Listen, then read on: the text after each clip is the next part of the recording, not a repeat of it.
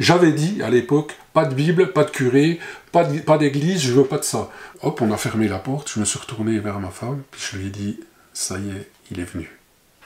Quel jour de joie. Incroyable, incroyable.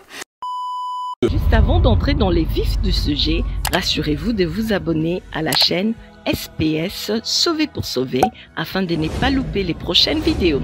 Et n'oubliez pas s'il vous plaît de partager, liker et de nous laisser un commentaire. Que Dieu vous bénisse. Euh, bonjour tout le monde, euh, je m'appelle Christian euh, et je suis en retraite. je prends la parole là pour vous parler de Dieu.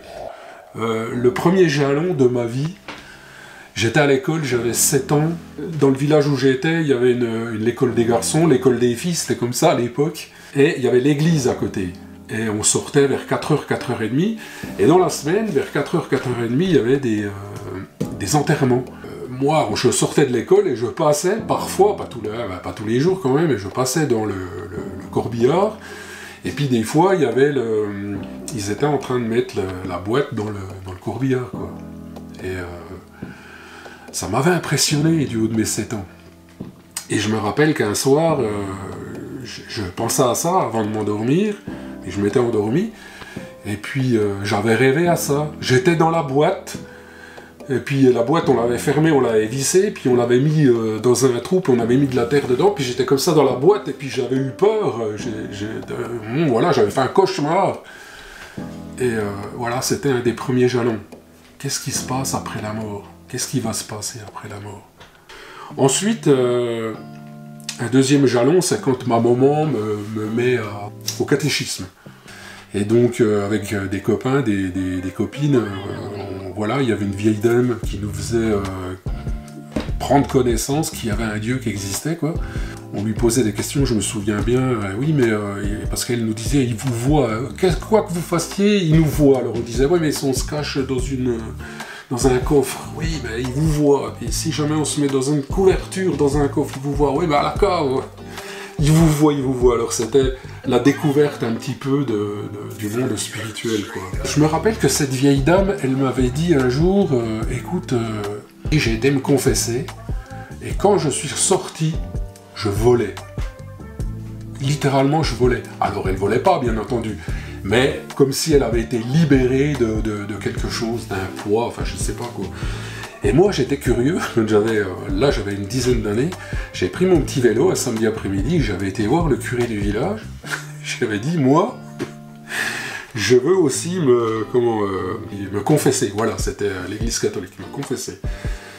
Et je me rappelle de la tête de ce grand gaillard, c'était un, prêtre, il m'avait dit mais... Bah, je sais pas, euh, les enfants, bah, j'ai dit si, si, je veux, je veux absolument. Et alors j'étais rentré dans le confessionnal et puis euh, on avait parlé comme ça. Alors je savais pas ce qu'il fallait faire là-dedans, tu, penses bien. Et puis, euh, mais j'étais venu au contact de Dieu pour moi, si tu veux, tu vois. Je peux, je peux dire que c'était vraiment le premier contact personnel avec Dieu, ce jour-là. Parce que j'étais venu avec mon cœur. Celui qui vient avec son cœur, et puis euh, naturellement comme ça, hein, en esprit et en vérité, dit la, Bible, et eh ben euh, Dieu il honore ça, et puis il, comment il y a eu un contact, il y a eu quelque chose. Un autre jalon, c'est quand je faisais mes études à Lille. Alors là, j'avais déjà 18 ans. Et dans ma classe, il y avait un, chrétien, un gars qui avait la foi. Un, vrai, quoi. Et puis nous autres, on était avec lui euh, un peu... on se moquait de lui gentiment comme ça. Moi aussi, bien sûr on essayait de le titiller, de voir. Alors j'ai eu plein de discussions avec ce mec-là euh, autour, euh, de la foi, parce que ça m'intéressait quelque part, hein, ça m'appelait. Et euh, voilà un autre jalon, quoi. Et donc je vous donne maintenant un, dernier jalon, parce que figurez-vous qu'on arrive à, la rencontre, parce que je vais vous dire quelque chose, on peut rencontrer personnellement Dieu, et ça, je ne le savais pas. Alors, figurez-vous que mon frère lui aussi avait la foi, il m'a invité dans un restaurant où il y avait des gens qui témoignaient. Alors on mangeait, et puis il y a des gens qui se levaient, puis témoignaient, un petit peu comme moi ce matin, quoi, voilà, ils parlaient de, ce qui s'était passé dans leur vie. et euh, il se trouve que c'était un, paraplégique. Et puis alors, il avait un témoignage qui était un peu, je trouvais, euh, caricatural, tu vois. Euh, tous les misères du monde y étaient arrivés. Ses parents étaient alcooliques, il était sur une chaise, Il y avait plein de problèmes, ce gars-là, plein de problèmes. C'était, oui, comme je dit, un peu caricatural. Et euh, je me disais dans ma tête, en l'écoutant, parce que j'aime bien plaisanter comme ça, je me disais, mais lui, s'il sort dans la rue, il faudrait qu'il mette du soufre sur ses godasses pour pas que les chiens lui pissent dessus, parce qu'il est tout arrivé. Et euh, par contre, par contre, il avait quelque chose en lui, il avait, je sais pas ce que c'était, je comprenais pas ce que c'était, mais ce qu'il avait en lui, moi, je le voulais. Ça, je le voulais. Alors, euh, à la fin de la, soirée, euh, ils ont demandé si on pouvait, si vous voulez, ben, on va prier pour vous. Je me suis levé, j'ai été les voir. Euh, ce que j'ai appris, avant, juste avant de prier, en discutant avec ces gens, c'est que, euh, comment, oui, on peut avoir une intimité avec lui, on peut le rencontrer. Alors pas physiquement, hein, vous n'allez pas voir un barbu comme ça, non. Mais il peut y avoir un contact. Vous pouvez créer le contact un soir, je montais dans ma chambre, j'ai fermé la porte et je me suis adressé à lui. C'était la première fois de ma vie. Et vous voyez, euh, la religion, c'est pas, euh, c'est pas des rites, c'est pas des prières qu'on répète tout le temps, comme vous voyez. J'ai voyagé beaucoup dans le monde. J'étais en Inde, par exemple, il y a des gars qui, faisaient des kilomètres à genoux pour aller vers leur, euh, vers leur Dieu. Il y en a d'autres qui font la guerre pour leur Dieu. Il y en a qui font... On voit toujours, tous les gens, ils veulent faire des choses pour Dieu. Dieu, il n'a pas besoin de nous. Dieu, ce qu'il veut, c'est avoir un cœur à cœur avec nous, une rencontre personnelle. Il est content parce que nous, on est ses créatures, et lui, ce qu'il veut, c'est avoir simplement, euh, on est ses enfants. Je vous l'ai dit tout à l'heure, euh, c'est notre Père. Avec votre Père, vous allez le visiter, vous allez le voir, vous allez le câliner, vous allez euh, parler des choses avec lui, il va vous apprendre des choses. Ben, c'est la même chose avec lui. Quand vous l'aurez rencontré, vous verrez, la religion, c'est que ça. Et je me suis adressé à lui, je ne connaissais pas, j'étais dans ma chambre, je regardais les murs, le plafond, j'étais un petit peu bête, parce que je me disais, mais euh, tu deviens fou, mon pauvre Christian. Et euh, j'ai dit, ben écoute, je suis même pas sûr que tu existes en fait, mais j'ai entendu, j'ai vu des gens qui, avaient quelque chose, j'ai rencontré, et cette chose-là qu'ils ont, moi je la veux. C'est-à-dire, euh, si, si, vraiment, eh ben, si vraiment, je t'invite, viens mais c'était pas une invitation pour faire euh, une expérience extra, je sais pas quoi. Non, je me disais, ah si seulement c'était vrai, parce que si ça c'était vrai, alors euh, Dieu qui a créé le monde, machin, qui vienne me voir, moi, ce serait vraiment incroyable. Et euh, il se trouve que je me suis mis à attendre. Trois, quatre semaines après, il s'était toujours rien passé, mais je me disais, bon, j'aimerais bien qu'il vienne, quoi. Je, je sais pas, je l'attends. J'étais en attente, je me suis aperçu que j'étais en attente. Et un soir, alors là vous allez me prendre pour un fou, mais je, témoigne de ce qui s'est passé vraiment. Je me suis assis sur mon canapé, ma femme était à côté de moi, j'avais un copain à côté, on discutait ensemble, et bam Je suis parti dans, on va dire euh, comme ça, dans une autre dimension. Je me, je me sentais comme un vase, vide, alors combien de temps ça a duré? Je n'en sais rien, puisque les autres, ils n'ont pas vu euh, la différence, peut-être que... J'en sais rien. J'étais comme un vase vide et ce vase s'est rempli. Et ça coulait. Et je voyais que ça coulait. Ça coulait sur ma femme à côté de moi. Je voyais que ça coulait. Puis à un moment donné, je savais que c'était Dieu. Hein. Alors pas une, hein, c'était pas une personnage ni machin, c'était voilà une vision, on va dire. J'ai dit peut-être qu'il faudra arrêter le robinet parce que c'est plein, quoi, c'est plein, c'est plein. Et quand je suis revenu, alors je, je, regardais les autres et puis je me suis dit mais qu'est-ce qui s'est passé quoi? Bon, le copain dit Bon, ben, c'est le temps que j'y aille, il faut que je rentre chez moi. Ben, j'ai dit Écoute, euh, écoute, salut, à bientôt. Hop, on a fermé la porte, je me suis retourné vers ma femme, puis je lui ai dit Ça y est, il est venu. Quel jour de joie Incroyable, incroyable. Il se trouve que ça commence à, ma vie a commencé à changer là, c'est la date. Je sais plus la date exacte, mais ma vie a changé là. Et euh, j'avais renoué un petit peu avec euh, les copains d'avant. Alors euh, nous, c'était un cercle de, de, enfin de tuffeurs. On aimait bien faire la, la, la la java, boire des bières et fumer des joints, voilà. Donc c'était ma vie avant.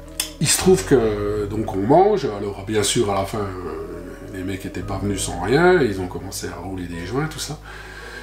Et les joints ils tournent et je le prends et euh, j'ai en moi quelque chose qui me dit, mais t'as plus besoin de ça. je, me dis, oh, qui, me parle? C'est fou, hein c'est comme ça que ça s'est passé. Et, euh, je j'ai dit, ben, oh non, tiens, j'en veux pas, j'en veux pas. Parce que quand on fait partie d'un cercle qui fume, si on veut être euh, admis, c'est un non-dit, mais il faut que tu le fasses en même temps que les autres. Alors, vous allez me dire, ouais, les joints, c'est pas grand-chose. Ok, c'est pas grand-chose, mais moi, il y a une époque, j'en fumais vraiment euh, beaucoup, beaucoup. Et il se trouve que quand, quand on fume beaucoup, il se peut, et moi c'était mon cas, que tu deviennes un peu parano. Tu, as l'impression que les autres ils te poursuivent pour toi, tu deviens un peu, un fou quoi, un petit peu. Et euh, ben, j'aimais plus ça en fait. Mais je le faisais quand même parce que bon, il y a le groupe est là, toi, euh, tu veux faire partie du groupe? C'est comme ça que ça marche. Alors je vous ai dit que moi c'était la liberté. J'avais dit à l'époque, pas de Bible, pas de curé, pas d'église, je veux pas de ça. Moi je veux juste la relation avec Dieu, c'est tout. À un moment donné, j'ai eu quand même envie de m'acheter une Bible. Alors j'ai été m'en acheter une. Alors euh, j'ai été dans un magasin de Bible. Moi j'ai dit au vendeur, moi je veux une grosse Bible, comme dans les films américains, tu sais. C'est qu'ils sont en train d'atterrir le cowboy, puis t'as le pasteur, il a un gros machin comme ça. C'est ça que je voulais parce que ça ressemblait à une Bible, un petit, un petit machin, non, un gros, oui. Alors cette Bible, après, je l'ai appelée, moi, le, manuel pour aller bien. Dieu, il met la lumière en vous, je suis la lumière du monde, il dit, il met la lumière en vous, quoi. Ça fait un peu bizarre de dire ça, mais la lumière en vous, ça veut dire que tu vois à l'intérieur de toi. Tu te prenais pour quelqu'un de bien. Oh, je suis bien, moi, je suis un bon petit gars, fais pas, ouais, je fais pas de ci, je fais pas de ça. Mais à la lumière de, ce livre, quand tu commences à le lire, hein, le manuel pour aller bien, par exemple, dit, ben, euh, c'est marqué, tu voleras pas. Bah, tu réfléchis un petit peu, si tu es honnête, tu dis ouais, ben, moi je suis pas un voleur quoi. Il y, a deux qui à l'intérieur de toi, il te dit attends, hein, moi je vais te. On va repasser le film et puis je vais te montrer. Regarde, là tu es rentré dans ce magasin là. Hein, et puis tu es passé à côté d'un rayon, et puis hop, tu as vu un truc qui te plaisait. Mais ah, t'avais pas le sou pour l'acheter bah, C'était pas si cher que ça, ok, mais enfin bon, euh, tu t'es dit, euh, bah, ouais, c'est vrai, je l'ai mis dans ma poche, puis euh, je l'ai pas payé quoi. Bah, t'appelles ça comment Oui, il dit c'est du vol, oui, effectivement. Alors tu lis la suite, il dit tu ne commettras pas d'adultère. Oh ouais, euh, Attends, je vais refaire le film, non? Pas trop de films, s'il te plaît. moi j'ai passé vite sur la case. Alors j'en ai fait quelques-uns, puis chaque fois que j'en voyais un, je me disais, purée, t'as déjà fait ça, t'as déjà fait ça, t'as déjà fait ça. J'aimerais bien en trouver un que, que j'ai pas fait, quoi je vois, tu ne tueras pas. Bah, alors là, je dis, hé, c'est bon. Ah, tu peux pas dire que. Il dit, attends, on va revenir en arrière. Il me dit, euh, quand vous étiez jeune, là, vous aviez 20 ans, vous aviez un, enfant, puis vous l'avez pas voulu. Alors, alors j'ai vu qui, euh, j'ai vu qui j'étais, et puis franchement, euh, je me plaisais pas beaucoup, quoi. Tu vois Non. Et donc, eh ben, il faut, te nettoyer. Alors, j'ai dit, ben ouais, d'accord, je veux bien me nettoyer, mais avec quoi Si je prends du savon, euh, mon âme, comment je vais faire pour le nettoyer? Alors, il a fait une chose. Dieu, il est venu, il est venu sur la terre, il s'est incarné en Jésus, et il est venu pour nous dire déjà la vérité, et en plus, il est venu pour mourir sur une croix pour nous, pour payer à notre place, pour nous laver, parce qu'on se lave dans le sang de Jésus-Christ. Vous voyez, la religion, c'est vraiment pas, euh, comment, c'est vraiment pas des rites, hein, c'est vraiment pas, il n'y a, y a, pas grand-chose à faire. Simplement accepter ce qu'il a fait, accepter. Je t'aime, hein, je t'aime, qui que tu sois, je t'aime. Hein. Lave-toi dans le sang de Jésus-Christ et tu viendras vers moi. Et moi, j'ai accepté ça C'est totalement injuste, parce que c'est moi qui ai fait euh, les, bêtises. Mais voilà, la justice de Dieu, c'est ça. Je, donne ma vie pour toi, je, je, verse mon sang pour toi. Si tu l'acceptes, ben voilà, c'est fait, tu viens vers moi. Euh, une dernière fois, je vous dis, n'hésitez pas à prendre contact avec lui. N'hésitez pas à, lui parler avec votre cœur. N'hésitez pas il va pas se passer la même chose qu'avec moi, il va se passer la même chose qu'avec vous. Mais euh, peut-être que vous n'allez pas en revenir. Quoi. Euh, bon, je suis pas féru des réseaux sociaux, mais euh, je pense que si jamais ça vous a plu, eh bien, n'hésitez pas à partager, mettez-le où, vous voulez, hein, c'est vous que ça regarde. Et puis, ben, moi, je vous laisse, et puis je vous dis ben, salut.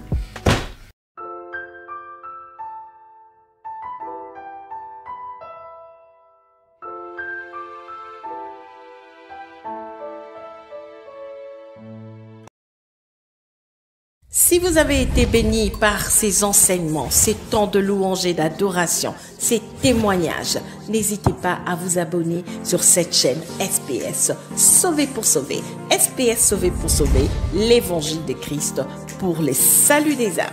Ici, nous témoignons de Jésus. Que Dieu vous bénisse.